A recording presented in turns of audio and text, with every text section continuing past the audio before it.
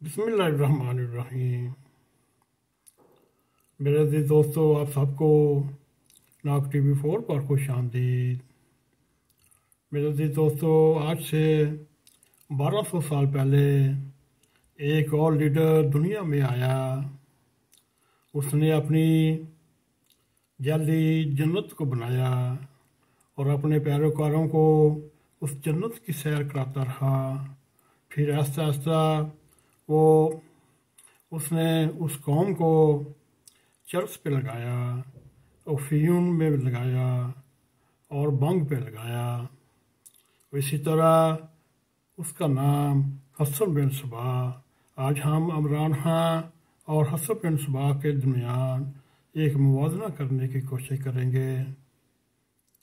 میرے دی دوستو، عمران خان جب بھی تقریر کرتا، وہ اینٹی اسٹیبلشمنٹ تقریر کرتا، کبھی غالب گلوچ پہ اتراتا، کبھی بتان لگاتا، کبھی جھوٹے خطاب کرتا، کبھی اللہ اور رسول کے واسطے دے کر منت اور ترلے بھی کرتا، اور وام کو مہنگائی کے خلاف بھی بڑھکاتا اور اب ایک اور پاکستان کا صحافی جو کینیا میں شہید کر دیا گیا، اس کے نام پر، جہاد پر بھی افسانہ یہ سارے جتن بیکار گئے اور آخر کار اس نے اپنا آخری کارڈ باہر نکالا اور خونی انقلاب کا خونی انقلاب کو پاکستان کا مقدر ٹھہرایا اور اس نے عوام کو فوج کے خلاف کھڑا کر کے مارشل لال لگوانے کی کوشش کی۔ میرے لیے دوستو، اس میں کوئی شک نہیں۔ اس وقت ریاست یا اسٹیبلشمنٹ آج اپنی اس عقل کا ماتم اور اپنی قسمت کو رو رہی ہوگی اس میں ماننے میں کیا خرچ دو ہزار چودہ سے لے کر اسٹیبلشمنٹ نے اور سپریم کورٹ نے مل کر ریاست کے آئین کی خلاف ورزی کی۔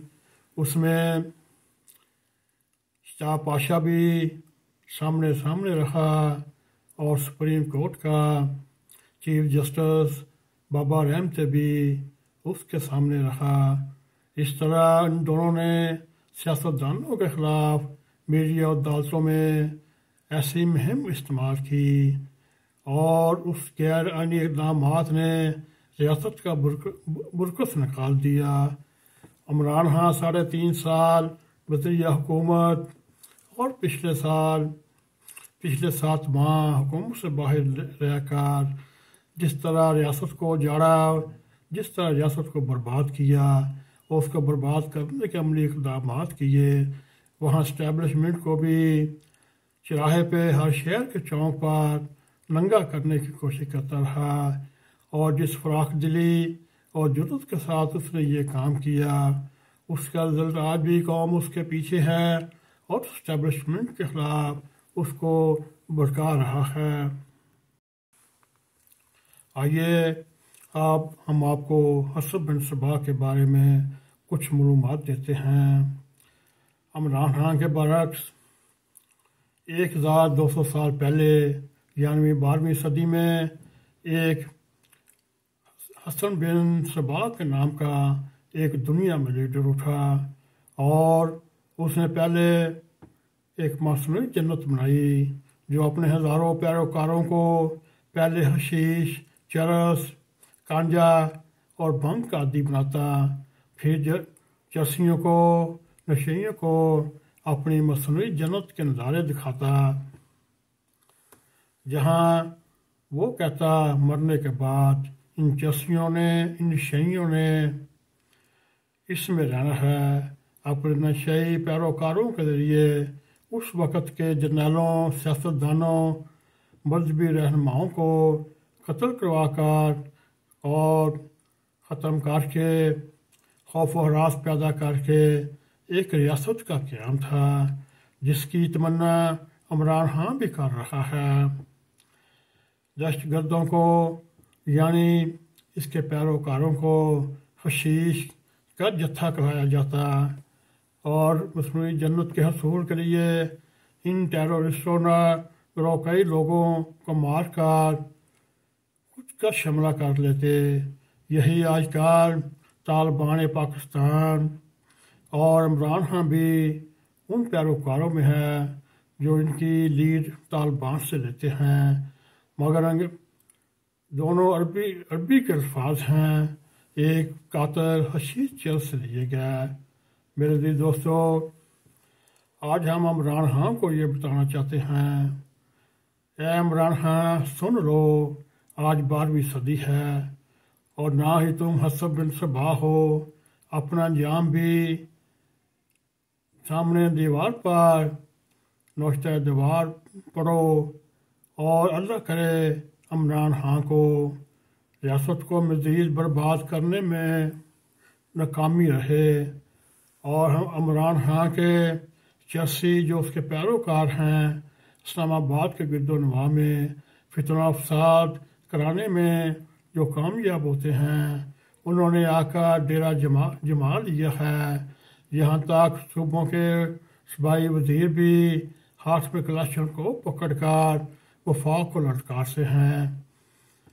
میرے لیے دوستو، ان سارے حالات میں اگر افراتفری پھیلتی ہے، کیا کسی دشمن ملک کے کمانڈوں نے آ کر پاکستان کی مدد کرنی ہے یا وطن عزیز کی کرنی ہے؟ میرے تھی دوستو، موجودہ شور و شفرا تفریح کیا ہمارے مدر وطن، اس کا سامنا کر سکتا ہے۔ میرے تھی دوستو، یہ آج ہم نے آپ کے سامنے ایک حقیقت کے اوپر ایک صحیح تجزیہ پیش کر رہے ہیں۔ میرے دی دوستو، جب عمران خان نے سیاست میں آنے کا سوچا، نائنٹین نائنٹی ٹو میں اس کے قریبی دوست کرسٹینیا بیکر کی کتاب M T V for Mecca میں منظر عام آئی۔ تو خدا خلا مصروف نے نائنٹین نائنٹی ٹو میں کرسٹینیا کو بتایا۔ ورلڈ کپ نے مجھے بہت ہی مقبولیت فرمائی۔ اور اس طرح کینسر ہاسپٹل بن، بنتے ہی میں سیاست میں آؤں گا۔ جو عمران خان انیس سو چھیانوے میں سیاست میں آئے۔ تو اس کی کوئی وجہ ہونی چاہیے۔ مگر یہ دیکھیے، بے زیر نے اس کے خلاقی کاموں میں رکاوٹ ڈالی۔ تو میرے دوست کے خلاف کوئی اور چارہ نہ تھا۔ اس طرح عمران خان بلی کی طرح پنترے بدل بدل کے کبھی انصاف کے لیے، کبھی کرپشن کے لیے مارکیٹ میں آتے رہے۔ اس طرح الیکشن میں ان کی ضمانتیں بھی ضبط ہوتی رہیں آئیے میرے دی دوستو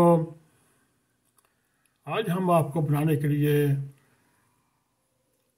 کے سامنے رکھتے ہیں تو آیا عمران ہاں یہ پاکستان کا تاریخ کا سبق ہے عمران ہاں تم بھی ذہن نشین رکھ لو جب نواز شریف کو باہر نکالنے کے لیے اوکھار بے چھار ہو رہی تھی تو وہ کیا اقتدار میں ہونے کے باوجود نہ صرف اپنی مقبولیت کے مراج پر تھا، بلکہ اس کی کشمیر اور گیل بردستان میں حکومتیں تھیں۔ اسٹیبلشمنٹ نے اور دانتوں نے نہایت کمال، جادوگری، نہایت چلاکی، نہایت مکاری سے نواز شریف کو پرائم منسٹر ہاؤس سے دیر پہنچایا۔ عمران ہاں تم بھی سن لو، تمہارا آنے والا وقت نواز شریف سے بھی نہایت بھیانک اور مخدوش ہے۔ میرے دوستو، آئیے ہم ان خطرناک خلاص میں اپنے اللہ تعالیٰ کو نہ بھولیں۔ آئیے مل کر اللہ تعالیٰ سے دعا کرتے ہیں۔